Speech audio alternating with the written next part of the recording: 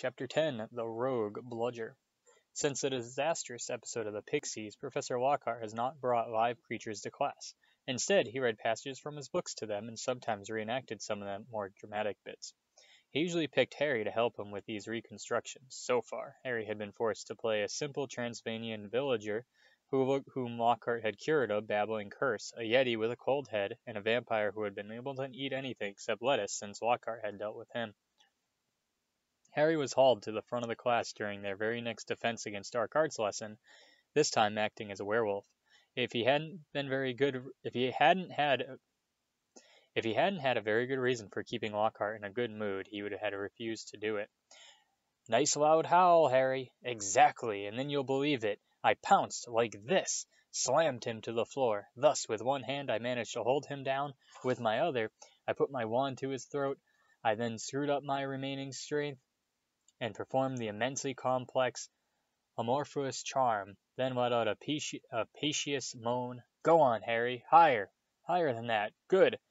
The fur vanished, the fangs shrank, and he turned back into a man. Simple, yet effective and another village will remember me for the hero who delivered them from the monthly terror werewolf attacks. The bell rang loud, and Lockhart got to his feet.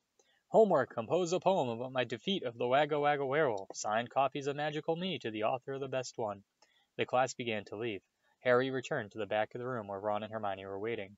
Ready? Harry muttered. Wait till everyone's gone, said Hermione nervously. All right. She approached Lockhart's desk, a piece of paper clutched tightly in her hand. Harry and Ron right behind her. Er, Professor Lockhart, Hermione stammered.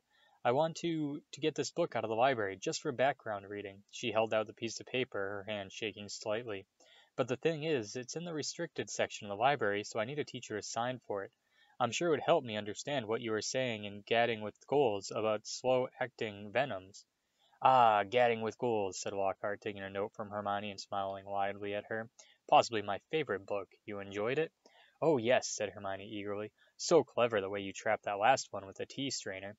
Well, I'm sure no one will mind me giving the best student of the year a little extra help," said Lockhart warmly, and he pulled out an enormous peacock quill.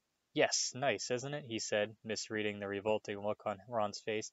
"I usually save it for book signings." He scrawled an enormous loopy signature on the note and handed it back to Hermione.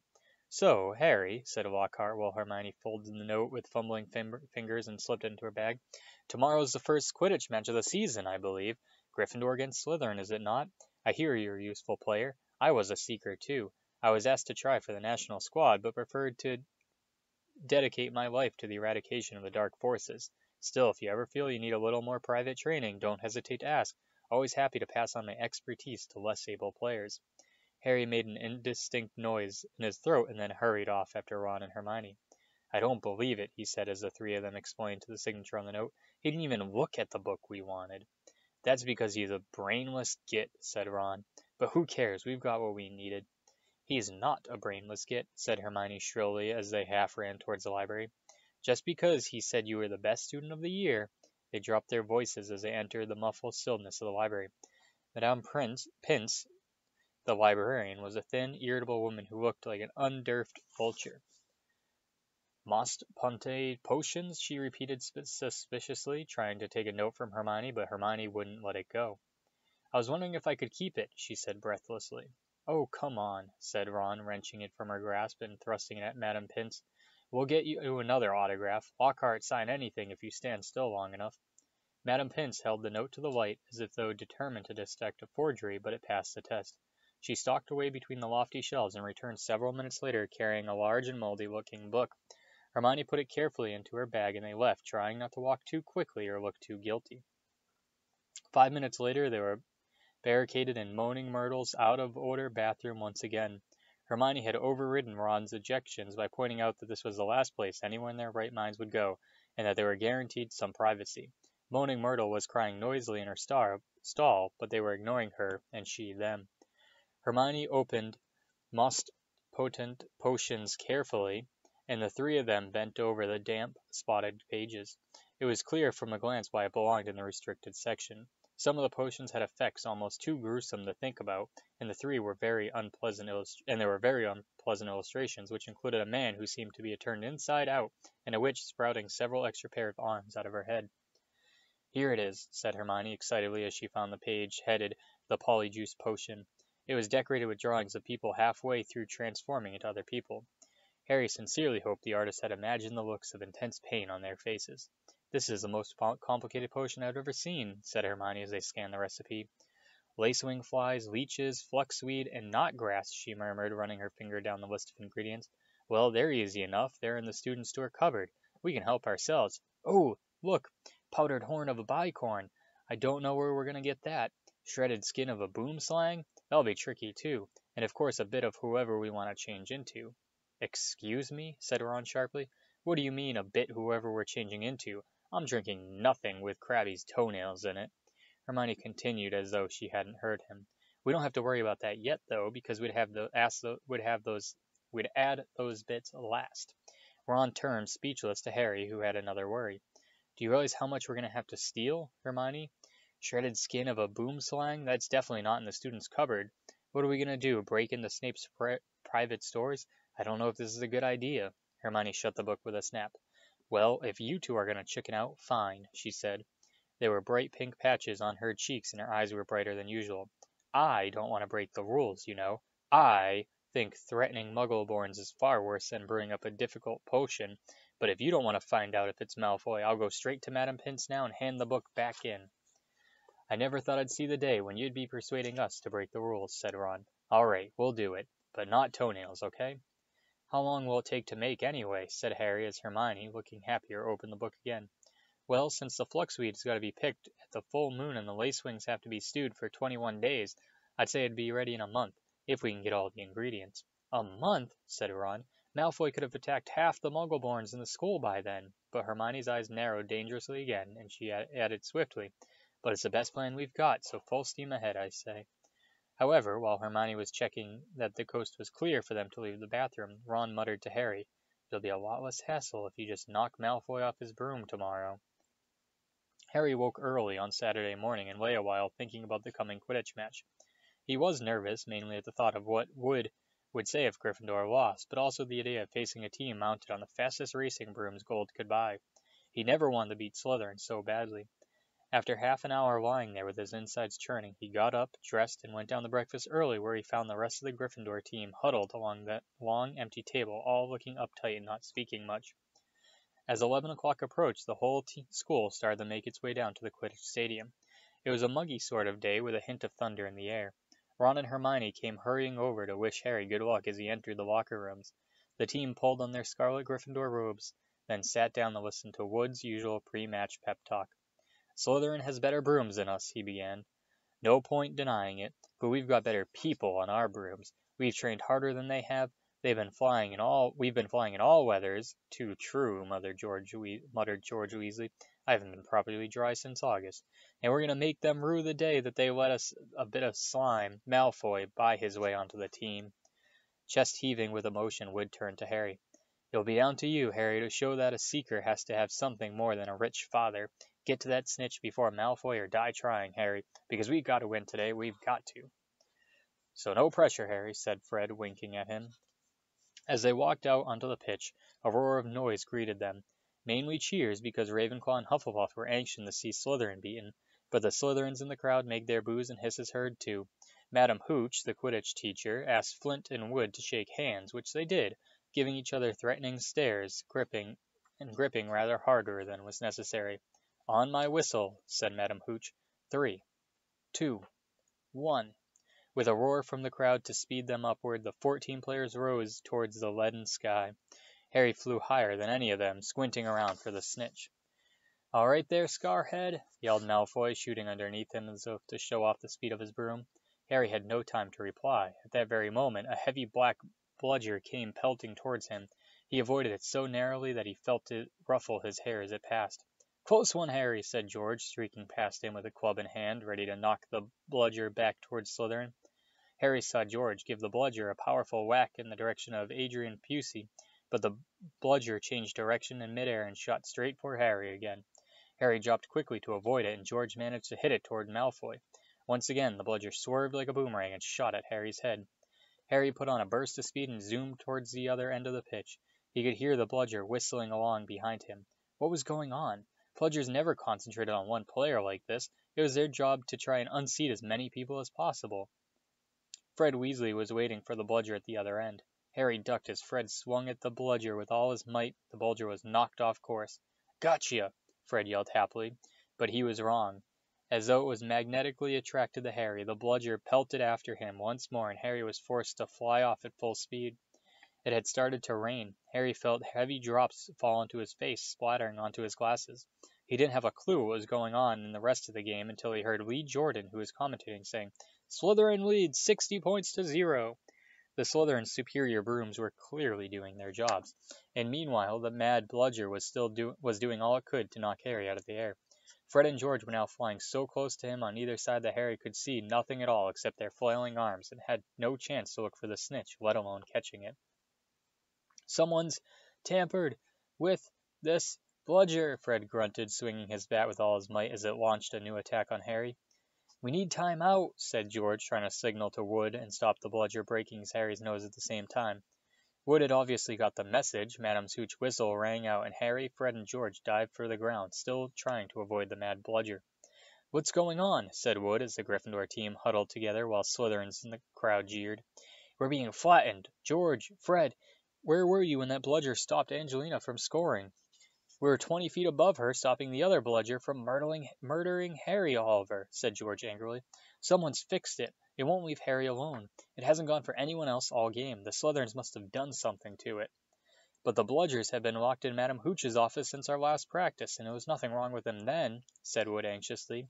Madame Hooch was walking towards them. Over her shoulder, Harry could see the Slytherin team jeering and pointing in his direction. Listen, said Harry as she came nearer and nearer. With you two flying around me all the time, the, only way I'm going to catch the snitch is if it flies up my sleeve. Go back to the rest of the team and let me deal with the rogue one. Don't be thick, said Fred. It'll take your head off. Wood was looking from Harry to the Weasleys. Oliver, this is insane, said Angelica Spinnet angrily. You can't let Harry deal with that thing on his own. Let's ask for an inquiry. If we stop now, we'll have to forfeit the match, said Harry. And we're not losing to Slytherin just because of a crazy bludger. Come on, Oliver, tell them to leave me alone. This is all your fault, George said angrily to Wood. Get the snitch or die trying. What a stupid thing to tell him. Madame Hooch had joined them. Ready to resume play? she asked Wood. Wood looked at the determined look on Harry's face.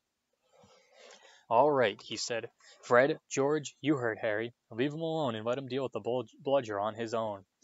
The rain was falling more heavily now. On Madame Hooch's whistle, Harry kicked hard into the air and heard the telltale whoosh of the bludger behind him. Higher and higher Harry climbed. He looped and swooped, spiraled, zigzagged, and rolled.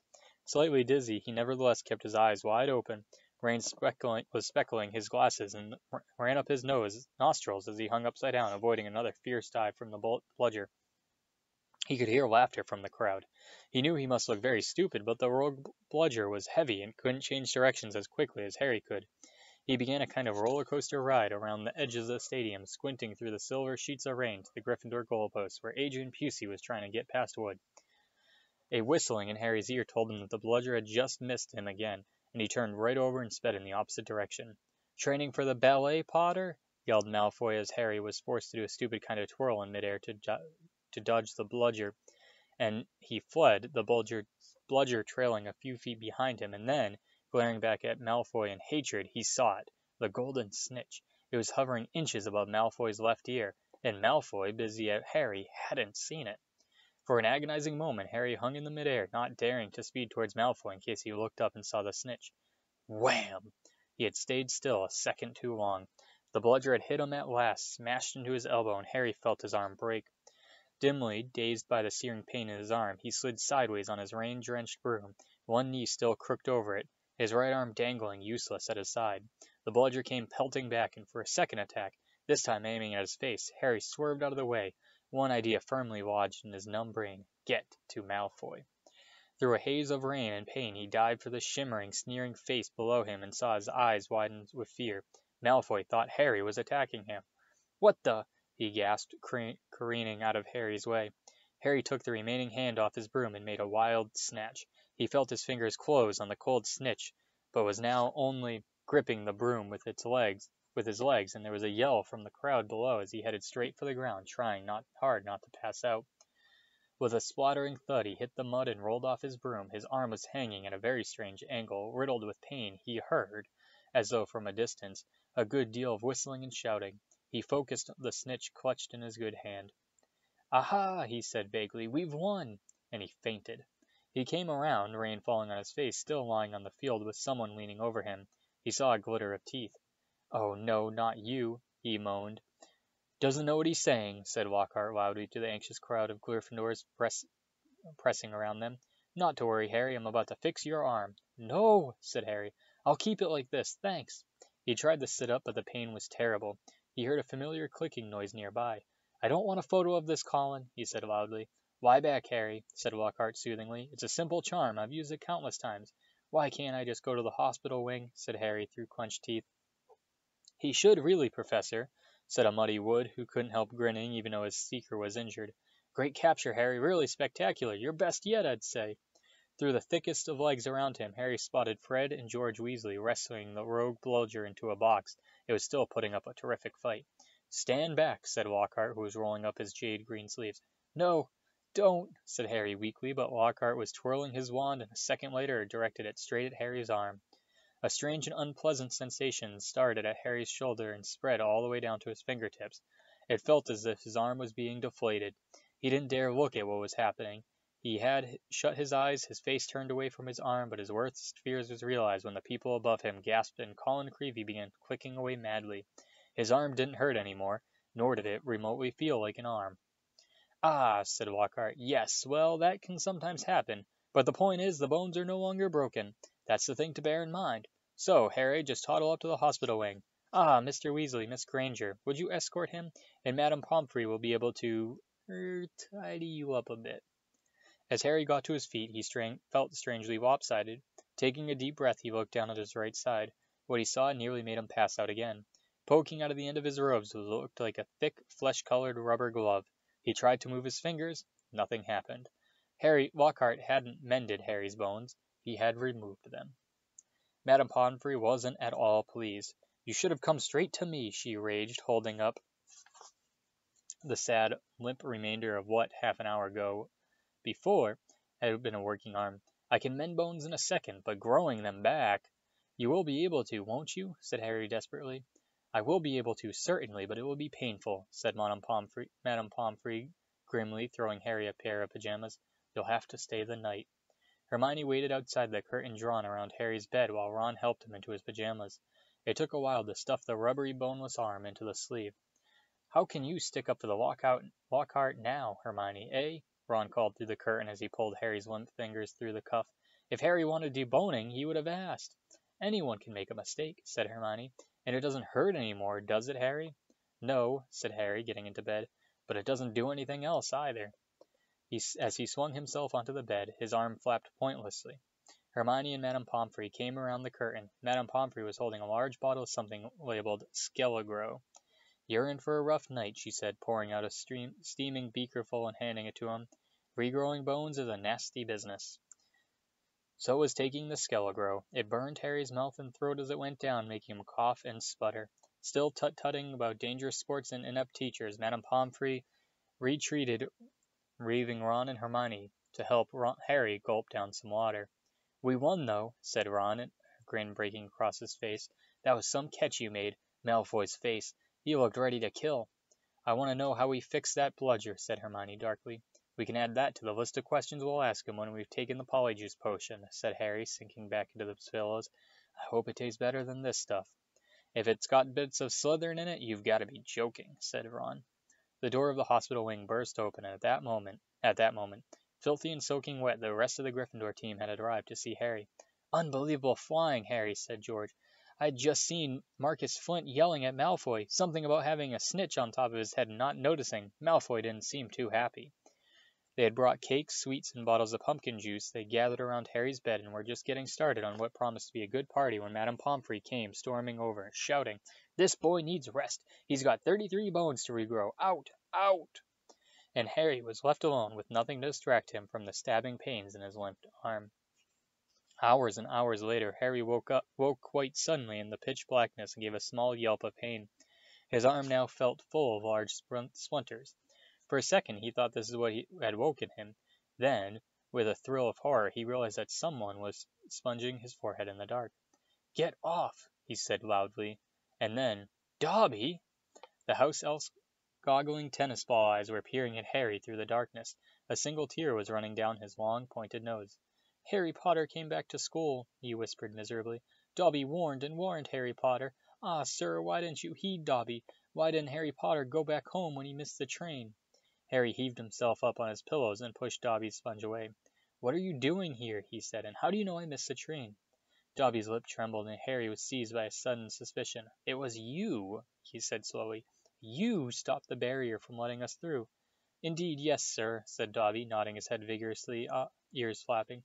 Dobby hid and watched for Harry Potter and sealed the gateway, and Dobby had to iron his hands afterward. He showed Harry ten long, bandaged fingers. But Dobby didn't care, sir, for he thought Harry Potter was safe, and never did Dobby dream that Harry Potter would get, get to school another way. He was rocking backward and forward, shaking his ugly head. Dobby was so shocked when he heard Harry Potter was back at Hogwarts, so he let his master's dinner burn. Such a flogging Dobby never had, sir. Harry slumped back onto his pillows. You nearly got Ron and me expelled, he said fiercely. You better get lost before my bones come back, Dobby, or I might strangle you. Dobby smiled weakly. Dobby is used to death threats, sir. Dobby gets them five times a day from home. He blew his nose on the corner of the filthy pillowcase he wore, looking so pathetic that Harry felt his anger ebb away in spite of himself. "Why do you wear that thing, Dobby?" he asked curiously. "This, sir?" said Dobby, plucking at the pillowcase. "'Tis a mark of the house elf's enslavement, enslavement, sir. Dobby can only be freed if his masters present him with clothes, sir. The family is careful not to pass Dobby even a sock, sir, for then he would be free to leave their house forever." Dobby mopped his bulging eyes and said suddenly, "Harry Potter must go home. Dobby thought that his bulger, bludger would be enough to make your bludger, said Harry, anger rising once more. What do you mean, your bludger? You made that bludger try and kill me? Not kill you, sir, never kill you, said Dobby, shocked. Dobby wants to save Harry Potter's life. Better sent home grievously injured than remain here, sir. Dobby only wanted the help, wanted Harry Potter hurt enough to be sent home. Oh, is that all? said Harry angrily. I don't suppose you're going to tell me why you wanted me to be sent home in pieces. Ah, if Harry Potter only knew, Dobby groaned, more tears dripping into his ragged pillowcase. If he knew what he means to us, to the lowly, the enslaved, we dregs of the magical world. Dobby remembers how it was when he who must not be named was at the height of his powers, sir. We house elves were treated like vermin, sir. Of course, Dobby is still treated like that, sir, he admitted, drying his face on his pillowcase. But mostly, sir, life has improved for my kind since you triumphed over he who must not be named. Harry Potter survived, and the Dark Lord's power was broken, and it was a new dawn, sir, and Harry Potter shone like a beacon of hope for those who thought the dark days would never end, sir. And now, at Hogwarts, terrible things are to happen, are perhaps happening already, and Dobby cannot let Harry Potter stay here now that history is to repeat itself, now that the Chamber of Secrets is open once more. Dobby froze, horror-struck, then gab- grabbed Harry's water jug from beside his table and cracked it over his own head, topping out of sight. A second later he crawled back onto bed, cross-eyed, muttering, "Bad Dobby, very bad Dobby." "So there is a Chamber of Secrets," Harry whispered. "And did you say it's been opened before? Tell me, Dobby." He seized the elf's bony wrist as Dobby's hand inched towards the water jug. "I'm not a muggle born. How can I be in danger from this chamber?" "Ah, sir, ask no more, ask no more of poor Dobby," stammered the elf, his eyes huge in the dark. Dark deeds are planned in this place, but Harry Potter must not be here when they happen. Go home, Harry Potter, go home. Harry Potter must not meddle in this, sir. 'Tis too dangerous." "Who is it, Dobby?" Harry said, keeping a firm hold on Dobby's wrist to stop him from hitting himself with the water jug again. "Who's opened it? Who opened it last time?" "Dobby can't, sir. Dobby can't. Dobby mustn't tell," squealed the elf. "Go home, Harry Potter, go home." "I'm not going anywhere," said Harry fiercely. "One of my best friends is Muggleborn. She'll be first in line if the chamber really has been opened." "Harry Potter risked his own life for his friends," moaned Dobby in kind of miserable ecstasy. "So noble, so valiant! But he must save himself, he must! Harry Potter must not!" Dobby suddenly froze, his bat ears quivering. Harry heard it, too. There were footsteps coming down the passageway outside.